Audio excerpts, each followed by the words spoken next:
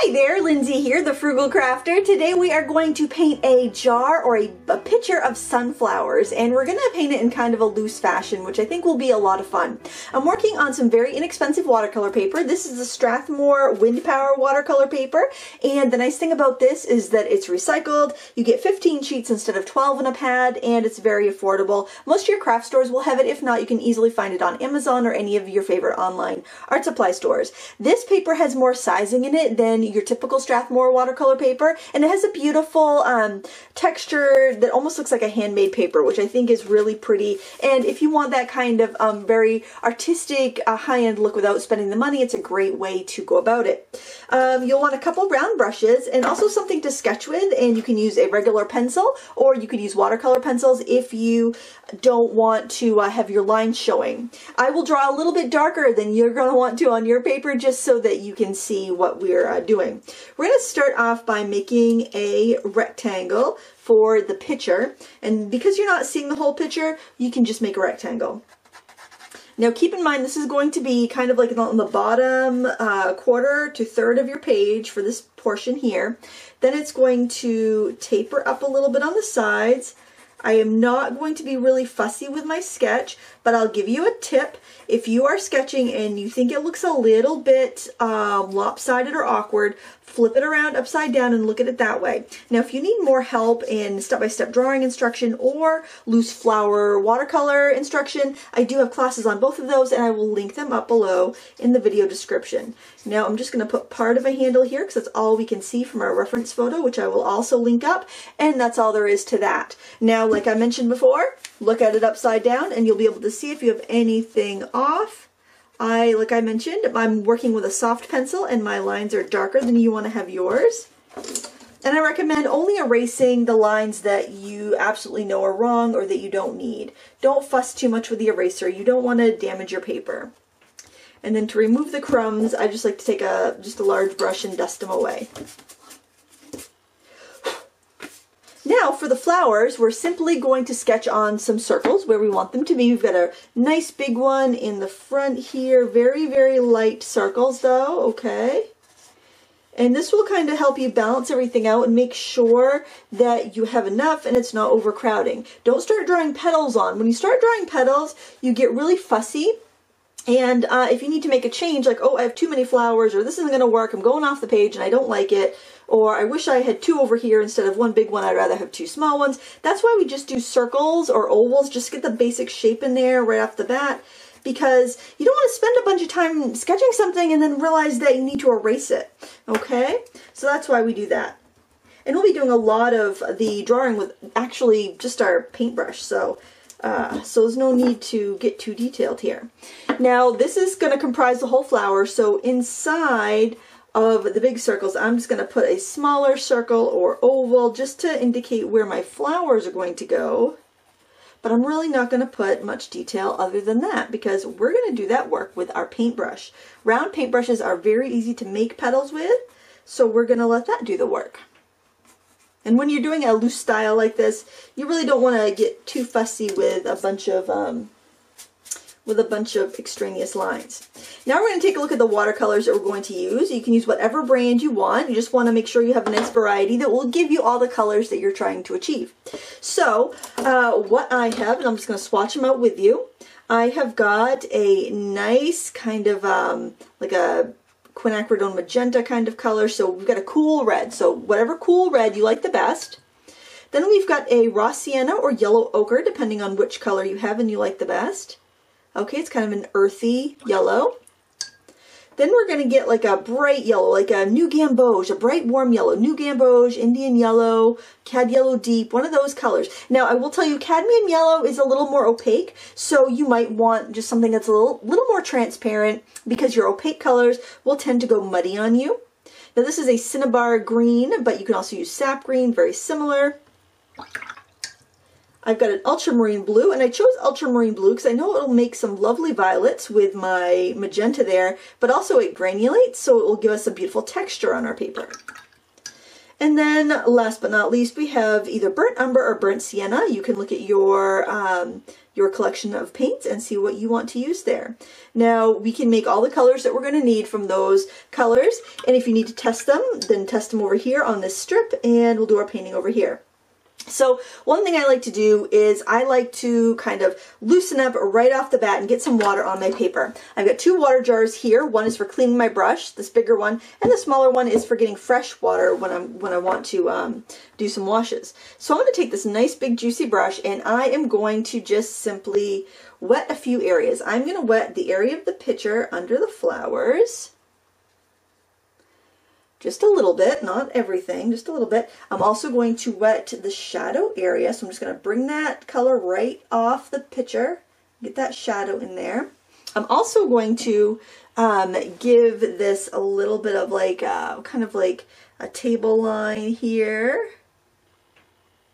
and just wet a little bit. Try to carry it across here. And then I'm going to splash on some water. And I know by doing techniques like this, it's going to help me get a really nice fresh look. Now I know I'm going to have a lot of yellow in here, so I am going to want to have some colors that's going to make that yellow pop. So the opposite of yellow is purple. So I'm going to mix myself up some purple by taking some ultramarine blue. Now I'm working with a really uh, wet brush, so um, I'm getting a lot of water into my mix. So if you're having issues with that, go with a stiffer brush. This is a um, Faux Squirrel. It's a Princeton Neptune. There's so many wonderful alternatives to animal fur brushes. I am actually going to go with a slightly stiffer one here. I'm getting too much water in my mix. Oh, that's pretty.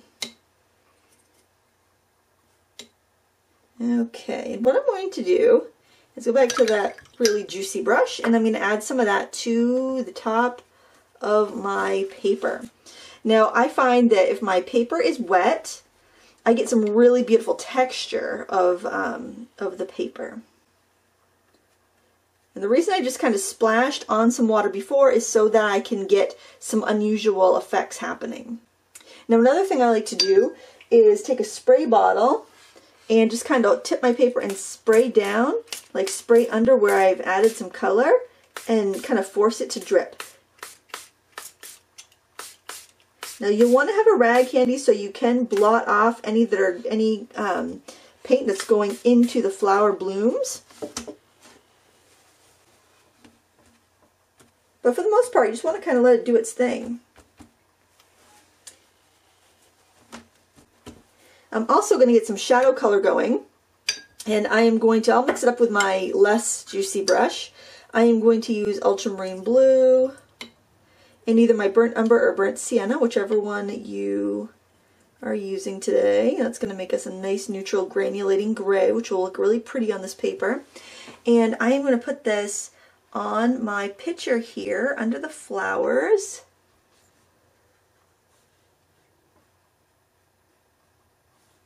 And the paint's only going to flow where we have water on the paper. So this is where we get those kind of fun, kind of happy accidents we'll see like color start to float around.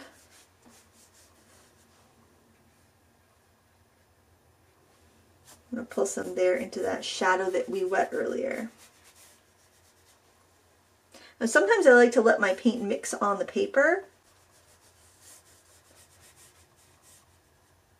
So I could go in and I could just grab some of the blue on its own and drip that in and let it kind of mix and mingle around. I really just like, I love the way this, this paper looks and it's so inexpensive. Uh, but I just think it's got such a pretty quality to it that I kind of like to do these loose techniques on it because I just think it's so pretty. A little bit of this blue on its own. Now, you probably want to just kind of be aware of any areas you might want to leave white for like highlights and try not to um, try not to paint on them. If you want to soften an edge, that's really easy. Just take a clean brush, you blot it so you can take out the extra water, and then you just go along an edge. And then you can just kind of fade it out. Because you want that bit of contrast between your soft and your hard edges. I'm going to go back to this bigger, juicier brush. This is like a number 16, I think, a number 16 round. And I am going to just kind of spread a little of this paint a little bit. Just to give it an all over feeling. Now another color I want to get going into the mix here is this yellow ochre. And you can use that to warm up some areas here. A lot of times if I'm painting in a loose style like this, I like to let the paint mix on the paper because it'll just give me a fresher look. You don't want mud. That's, that's one thing you want to avoid when you're watercoloring. So you want to let your paint kind of uh, kind of do its thing and mix on the paper. Like if I mix that color with the yellow ochre, before I put it down, I would just have this kind of mucky, muddy mess. But if I just kind of go in there and let them mix together on the paper, it's going to stay a lot more vibrant. And into any if you want to have um, I want to show you really what this what's going on there. It's so pretty. You get this beautiful granulation there. Um, if you want to have some more textures in here like you can see that kind of hard edge forming and this kind of ruffle forming you can uh, spatter on your colors onto a drying wash and you'll end up with some really interesting texture if you like it. If you don't like it, then of course that's how you avoid getting that texture. You don't spatter or go back into a wet wash. So um, kind of learning about the different qualities will help you be able to either keep it more controlled if you want to or keep it looser if that's what you want to do. Now the next thing I want to do is go in and do some of the centers of these flowers and this is so fun because this is where you can get your really dark uh, darks and you can get those really strong shadows and uh, get your values kind of placed. And what you want to do is just make sure you're using a brush that does not hold too much water, because you're going to be mixing some darks. So um, one of my favorite dark mixes obviously is the ultramarine blue and the burnt umber or burnt sienna. If you don't have ultramarine blue, if you have cobalt blue deep, that will work really well. Or cobalt blue hue will work because that's probably the ultramarine blue pigment. And you know, if you don't have any of these colors that I'm mentioning, just look at your watercolor set and eyeball it and pick whatever's closest. Because sometimes you'll get paint that just doesn't disclose what's what the colors are, or they'll have very strange names because maybe they were um, made in another country, or they were made more for a calligraphy market or a craft market, and it'll just be a little bit different. The names will be a little different. Okay, and the other reason you want to use kind of like a, a, stiffer brush like this is because when you're working in these little pans, if that's what you have, a small pan of color, um, it can be damaging to a softer brush. So, you know, not only will you get brighter color, but you'll be able to save your brush a little bit more. And we also want to get some sap green or cinnabar green, whatever you're using. Uh, the Renesans colors that I'm using, they call it cinnabar green. And uh, I thought it'd be fun to use those today working upstairs in my heated office. Wicked fancy. Fancy new camera, heat my office. Oh my gosh, I'm living the high life. What can I say? Okay, those of you that have followed me for a while know that I usually work in a cold, unheated basement. Um, all right, so I'm just going to start in, I think I'll start in with the burnt sienna actually, and I'm going to start in with this uh, this flower in the front. Now notice when I when I'm putting in color, I am not keeping a smooth edge because when you have a bunch of petals growing out, they're going to give you, you're going to have these like uneven kind of bits of texture, points of, of color where the petals are coming around. So I want to make sure that I kind of leave that organic edge like that. So this is kind of like a negative painting technique because I'm painting around where the, um, where the petals are going to be. I'm going to grab some of that mix with the ultramarine in there to give it a nice dark. I am going to just rinse my brush off and grab some of the sap green as well.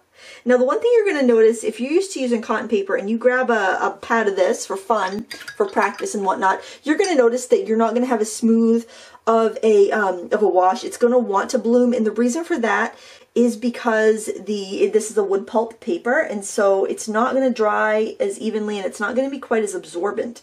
So um, so you may struggle with this if you're used to cotton paper, uh, that the uneven drying drying time. So you can kind of um, uh, meld them together a little bit, kind of nudge them into submission um, and put them where you want, put the colors where you want, but try not to overdo it because this is where you're going to have some really interesting fun things happening. Grab a little bit of both of those yellows and just kind of put a little bit of a highlight in here. All right, so and then you want to leave it. If you do need a little bit extra shadow, you can, um, like I would probably just go in with the ultramarine blue, maybe pick up a little bit of that purple mix and just dab it in there and leave it alone. If you want a brighter highlight, if you feel like you went a little too far, uh, dry your brush off, clean, dry your brush off as much as you can, and you can go in and you can lift some out. Just you're drinking up that uh, that pigment, to that water with your brush. And putting like a little half circle in there kind of shows you like a little bit of the raised uh, the raised seeds there that would catch the highlight. But try not to overdo this. Try to let it kind of do its thing. And look how pretty just the paint. Even if you had like no plan and you were just slapping paint down, it's going to be pretty because it's a good quality paint on a good quality paper. So, um, I mean, it's an inexpensive paper, but it's certainly got a lot of the interesting qualities that a... Um, that a more high-end paper would have. So we're going to keep doing that for all of the centers here in this picture.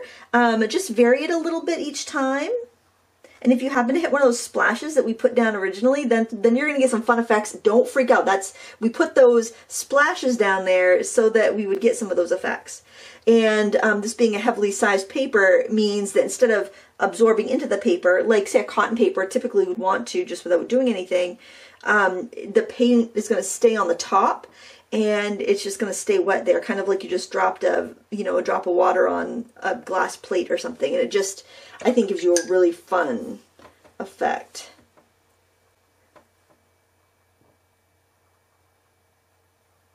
And you might not put green in one, you might put not put blue in one, you know, just kind of vary them all. Um, now just kind of really trust your sketch that you put on there. If you only have a tiny little spot, like here, like this one right here, we just see a little smidgen of that center. You can just put one or two colors and call it good.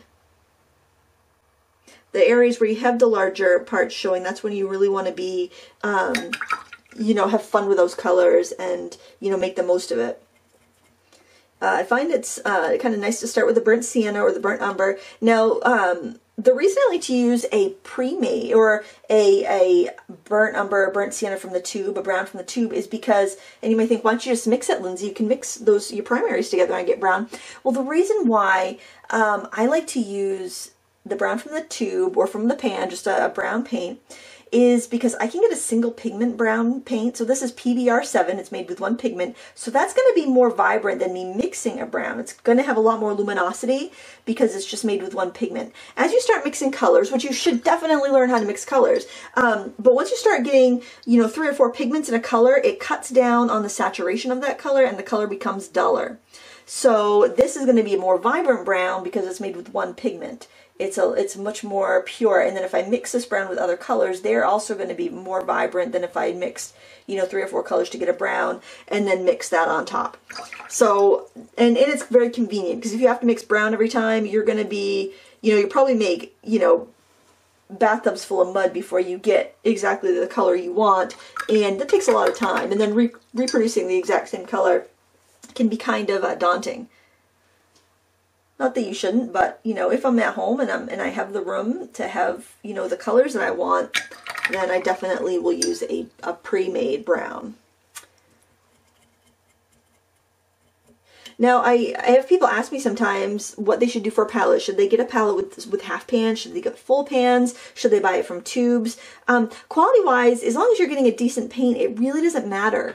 Um, if you like to paint smaller and you use round brushes or smaller brushes, your half pans will be just fine. If you like to use flat brushes or like larger round brushes, like big round brushes like this, you're going to run the risk of damaging them with small half pans, so you're better off to get either a palette that you can squirt your paint into or um, get full pans. So, you know, and if you get paint in the tubes, then you have a little more custom customizability as to what you end up with for a palette because you can buy empty half pans or full pans, or you can buy a palette where you can have big wells to squirt your color into, or you can just use a, a plate and just squirt it out as you need it and um, none is right or wrong. It just depends on what you like to do. I like to let my paint dry in a palette or let it dry in half pans because I just get a little bit, I feel like I don't waste as much and I'm just used to going from dry pans and that's how I prefer to work. But there's nothing, you know, right or wrong about it. It's just my preference. So kind of keep that in mind when you are deciding what you want to do. And you might change your mind. There's nothing wrong with that either. You know, you might start off with a studio palette and love that and then realize you want to go travel with your paints and so you buy a little tiny palette to, to take with you on the go. And, uh, and that's fine too. Or you might find that just a small palette suits your needs for how you like to paint at home or away. Um, and everybody is different. That's why there's a bajillion different types of palettes you can get. So here I put the brown in and then I just dripped in the blue rather than using any of the mixed colors because I figured that would give me a really nice, really nice color there. A little yellow ochre. And notice my water buckets here. The clean one is still clean, the dirty one just keeps getting dirtier. So by going with two buckets of water when you create, you don't need to change your water so frequently. You might be able to even get a day or two before you have to go and change your water, but definitely a painting or two even when you're doing really bright colors like this. We got two more centers to do. This time I think I'll actually start with maybe the purple and then start adding colors into that and see how that looks. That purple is going to really go a long way to make our yellows look really nice and really vibrant. Uh, let's do some brown into that and some blue. And if your paint's dry, you've probably noticed that I don't always rinse my brush in between. Um, if your paint is dry on your palette, oftentimes you can just go in there, and even if you do contaminate it a little bit, you leave some behind, you can just pick it up and wipe it right off. So, you know, so sometimes, especially if I'm going to keep redipping in the same colors, I'll just wipe it off at the end if there's any residual color left. And then if you have color on your brush from like maybe wiping it out of another another area, you can go in and add it to the next area. And this one we just have a little bit showing, so just want to get that in there. Maybe a little bit of green. I love working on a glass palette or a ceramic mixing palette just because your colors will not beat up and they lay out nice and flat. I apologize for any glare that you might be getting. I'm still getting used to my new camera and light mounts up in my office, so uh, it might be a little, little strange there.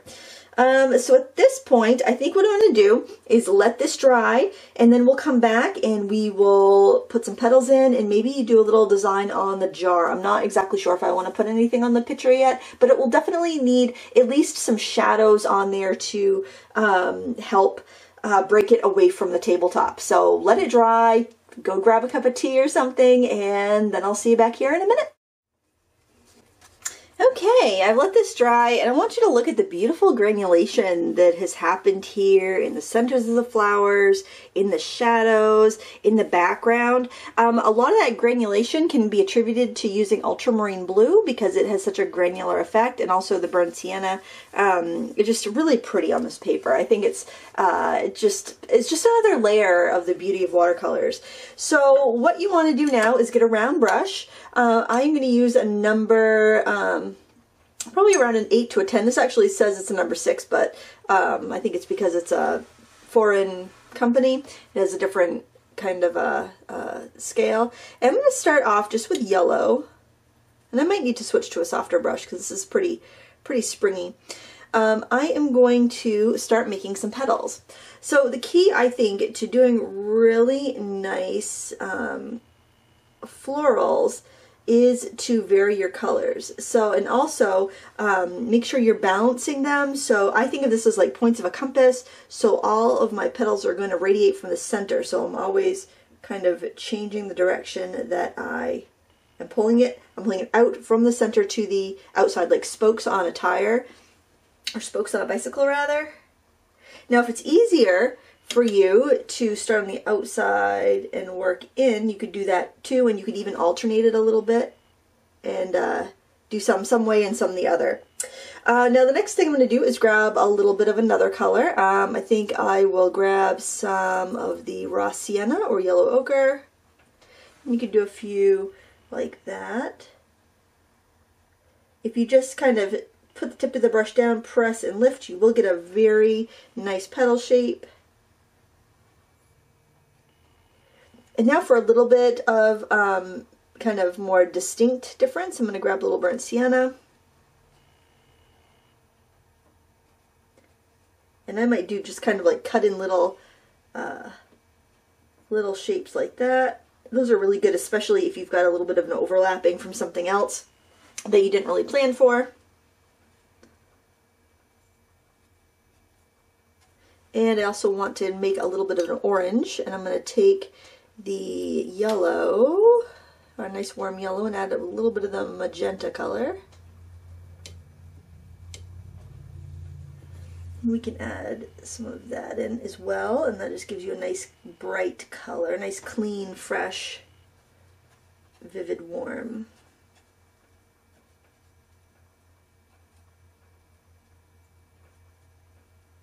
And if you know you have some shadow area, what you can do is pick up some of your uh, purple, because that's the opposite of the yellow, and you can desaturate colors with that. So you just kind of go in anywhere you think you'd have some of the petals getting shadowed. Just don't overdo it because it can get real muddy. This is also really good over the, um, if you're overlapping the, the can a little bit or some other uh, element where the yellow just is too transparent. That will work really well. I also want to get some of the sap green going because you'll be able to see little bits of the uh, both leaves and you will see like um, kind of that little uh, those little short spiky um, bits of foliage behind some of these, like right at the where the the petals come to the stalk, there's like these spiky green uh, green areas. I want to go ahead and put some of those in at the base of some of these other flowers, especially ones that are turned away from us so we see the side. That's generally where you'll see those a lot. So I'm adding those in around like this one that's going from the side. And I'm just using the sap green on its own because I realize it's probably going to get mixed in with some other stuff as we go. So I want to kind of keep it fresh. And plus your sap green, your cinnabar green, those are all going to be mixes. Um, so they've already been mixed once. So you've already at least got two colors in there, two pigments. So you just want to minimize uh, the chance of getting mud. And then if you want any, um, if you want any like bigger leaves, you can throw those in as well. Just um, I would try to get them somewhere you have a little bit of room to, to kind of sneak them in there. I will, I'll just, I think I'm just going to put one right in here and just kind of negatively paint around that flower. And I think there'll be enough, um, enough overlap on the jar where there's that blue to give it a nice natural shadow. Um, Maybe I'll just put like a little bit of one up here.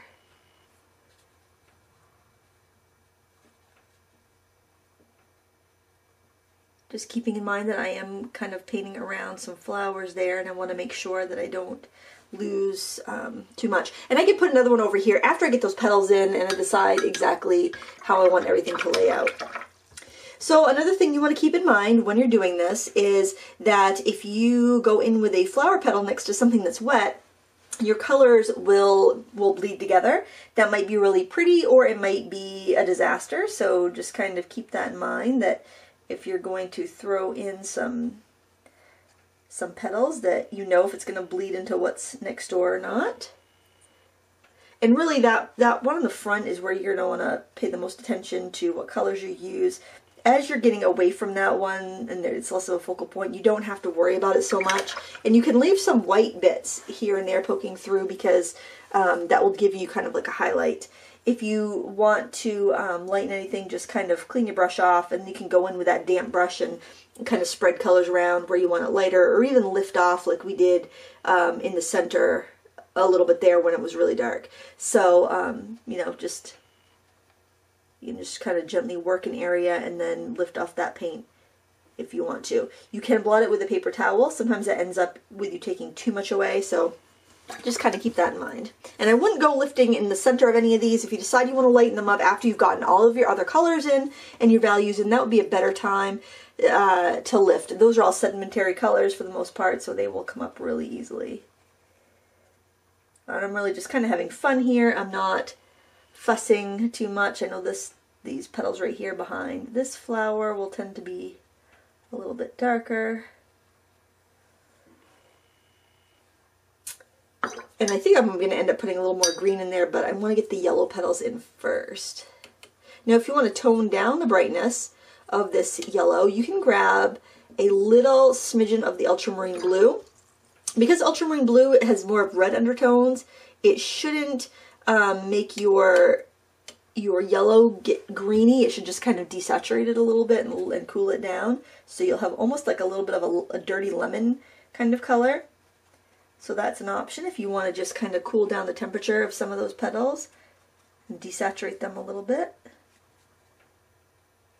I'm just having fun with this. This is so much fun to paint.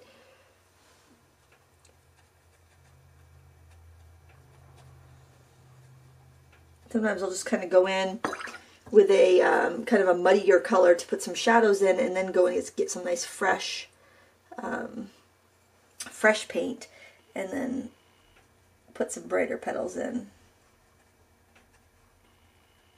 And any of these colors really are fair game because when you look at a bouquet of sunflowers, you're going to have, I'm here wiping out some of that green from the leaves so it looks like the petals are kind of overlapping. When you look at a bouquet of sunflowers, you're going to see greens and browns and reds and oranges and all these different colors. So you might as well represent that with your watercolor palette because you have all those colors. I love the lifting technique, especially on this paper because it lifts really easily. So that's another reason I recommend this uh, for beginners just because you've almost got a little bit of an undo button. I mean, it's not perfect. You obviously want to try to get your colors in there right off the bat um, correctly, correctly, but if you don't, it's really easy to fix it. You can also scrape in with the back of a, a, um, a paintbrush or a credit card or something if you want to, if you feel like you've just got a blob and you don't have any um, definition. If you do it to one flower though, do it a couple other places so it doesn't stick out. And let's go up to this one there nice bright yellow up here. And I think this one I might pull the, the petals down in so that I end up with a nice defined sharp one at the top. And if you get those values in there right, like we did with our with our centers, it makes everything um, really interesting and lively and not dull and um, and flat. So it doesn't have to be realistic. You just want to get those values right so you have some that interest in your in your painting. A few darker petals over here first since I have that on my brush and then I'll go in with my brighter yellow. Now I also get um, some comments where people are like, oh, I love that painting until you do the spatter. Why does everybody spatter their paintings now? I don't like that. Well, with your painting, you can do whatever you want. I want you to always keep that in mind. You don't have to follow other people's instructions to a T. Uh, they're guideposts. They are there to help you decide what you want to do. And then when it's your turn, when you're doing your painting, you paint it however you like. So um, keep that in mind. Anytime you see any sort of tutorial online, you don't have to like how they do every bit. It's like if you watched a home decorating tutorial and you didn't like um, you know one type of product that they're using. You don't have you wouldn't go out and use it just because you know the person on tv said you should right? You would you would do your own thing. And same thing with art. You just gotta kind of pick and choose what's gonna what's gonna be best for your style. I like spattering so i spatter from time to time but i can understand if you don't. I think it's really important to know why if you like something why you like it and if you don't like it know why you don't like it because it could just be you've never used it at an appropriate time. Maybe you've tried the spattering technique but when you used it, it was not on a painting that really would have been would have been uh, helped by the spattering. So I think that happens too sometimes. I'm gonna get a little leaf there. I feel like maybe a couple more. I like I like the look of the leaves. And you can also add a little ultramarine blue if you want to darken them a little bit. Let's put one over here. This is just the cinnabar green on its own. I have a little bit too much moisture on my brush, so I blotted it. And I'm just going to paint around those petals. if they bleed, I'm not going to worry about it. And now I am going to grab some ultramarine blue because for a couple reasons. One, I think it will look nice with a little shadow. And also, there's so much orange in that flower that the blue will be its opposite and make the orange pop more. So I'm taking the ultramarine blue. Actually, the more I look at this, I think it's a cobalt blue deep. but that's alright because it works. Ultramarine's a little bit stronger. Um, I'm just going to add that in and let it mix on the paper.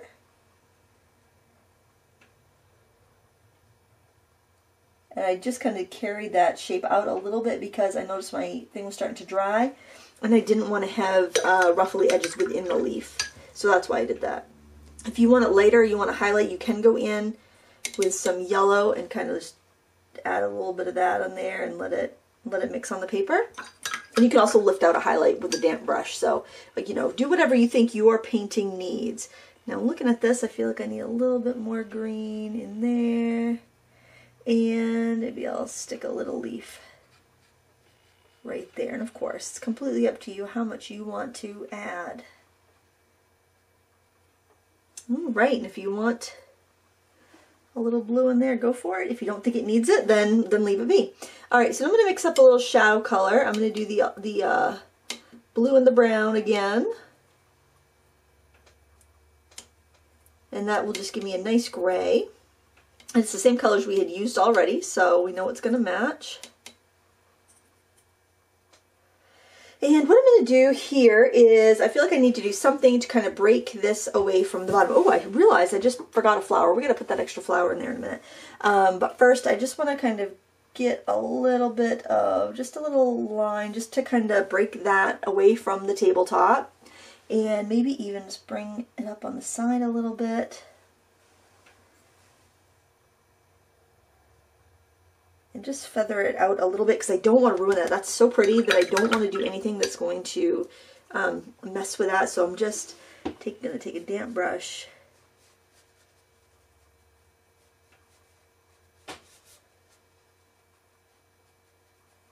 and just add that in there and try not to mess up that beautiful granulation that I have happening.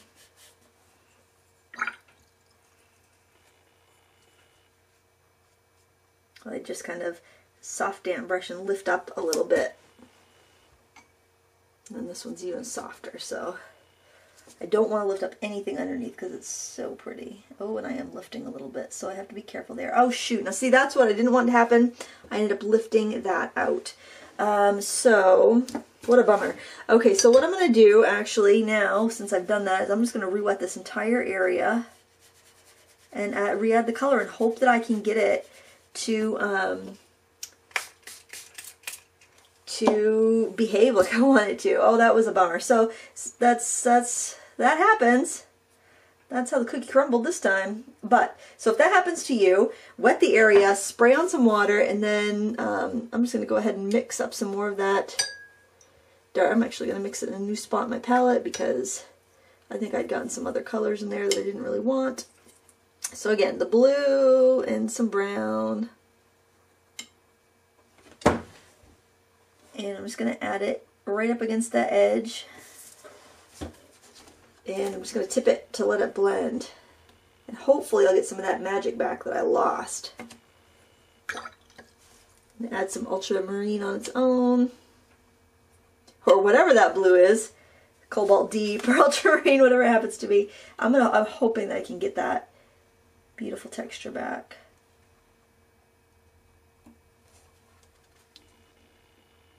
And that happens sometimes, and it's a bummer when it does, but teachable moment. I find that if I do need to let it go out further, I just use a little spray bottle, and that will just, it kind of prevents it from me lifting other places I don't want to, so. And then I'm going to let it drip down to the bottom. And I'm just going to guide it with that brush and just be able to pull off the extra water, I think. I'm going to wipe the tape and not my painting because I don't want to give myself blooms or lifts or anything where I don't want it there. I think I fixed it. It's not as pretty as it was originally, but I think it's going to be okay. So that happens sometimes, and eh, what are you going to do, right? okay, I forgot my little flower over there, so we're going to put that in. And I'm going to do it the same way I did before. I'm going to start off with my bright um, my bright yellow. I am going to start from the outside petals and just drag them in because I'll have a little bit more control that way. And I think I'll grab a little bit of that magenta.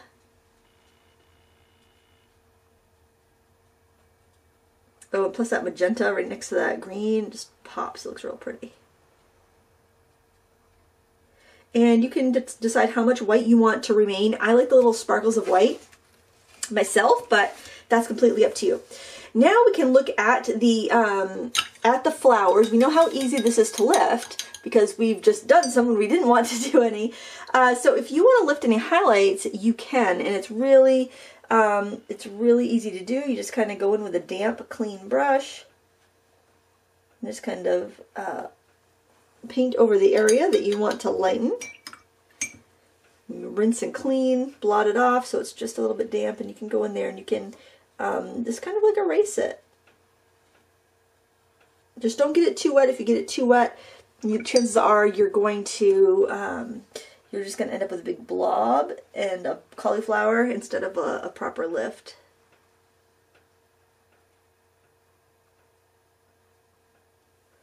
Just in a couple of spaces. Just gives it a little bit of shape which I think looks nice. And if you lift it out and you decide you want a little bit of another color in there, you can go ahead and, and drip in a little bit. Like I feel like this one might need a little bit of that sap green color in it. Just again, you want to watch how much water you have. You don't want to put a ton of water in there. Okay. Now I'm trying, trying to decide whether I want to do any of the pattern on the, the jar or not. Um, and geez, I'm a little gun shy after after my uh, my shadow there. I do think I want a little bit more shadow on the handle here, so I'm going to go in and put that in. That's a glaze. I'm just going over it with a transparent layer of color. Um, maybe just a little bit of a shadow like that. And, you know, I really don't think I want to put the pattern on that vase. I think I would like some spatters though, some like yellow spatters I think would look really good. Now this is the point where you can say I like it or I don't like it, I'm not going to do it. And that is completely fine, whatever you decide.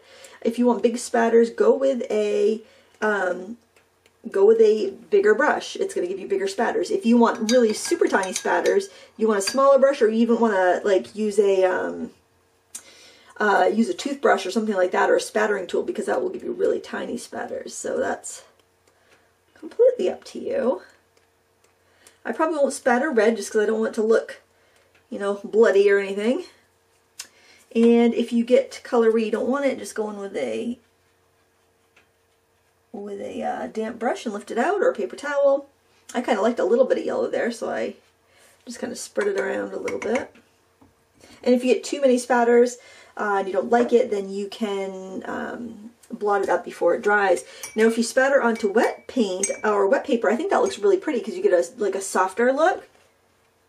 Oh, another thing I want to show you here is lifting because we've got highlights, kind of more highlights on the side and you can lift out a, um, a highlight too. So lifting isn't, you know, you just need to learn how to control it and um, to get the effects that you want to get. But yeah, you can lift out your paint here and give it a little bit more roundness and highlight on this side. You'll get a much more, a much brighter lift if you go in with a paper towel and blot when you're done. So it just depends on how uh, how much you want to get back to the paper. Look at that, we're like down to the white of the paper practically. That's not possible with all papers, just to uh, just to let you know there. The thing you do need to be aware of is that um, it's really easy to get a hard edge here when you're lifting out. So just kind of keep that in mind. I'm going to soften my edge a little bit after I've got it lifted the way I want it. But look at that, we're like back to the white paper there. And I often find softening an edge like that is a little bit easier with a flat.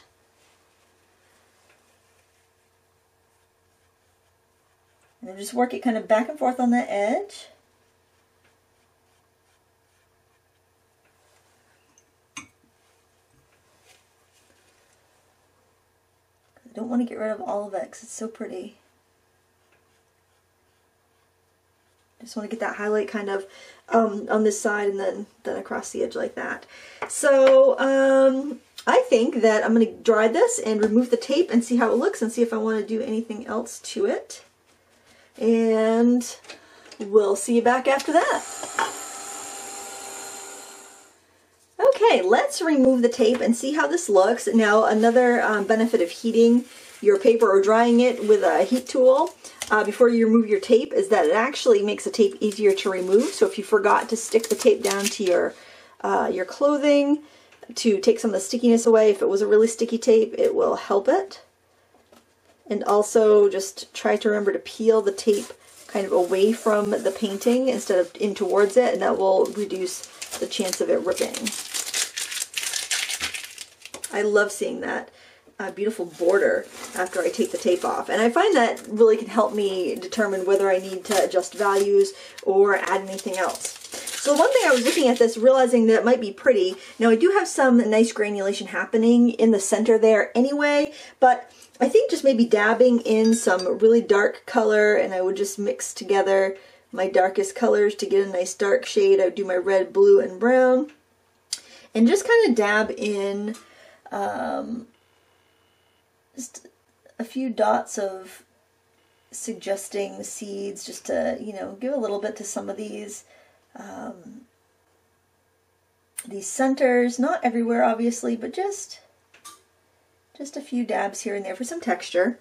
Um, I think I could do, go a little bit darker on the shadow on the side of this. I don't really want to mess with the table because I was able to get that granulation back, which I was really pleased with. Um, but I think I would like a little bit of a shadow on the edge. And I'm just going to go with the blue um, gray mixture, a little heavier on the blue, just so it's not muddy. And just kind of add that here on the edge. And you do have to be careful with this paper because it does want to lift really easily.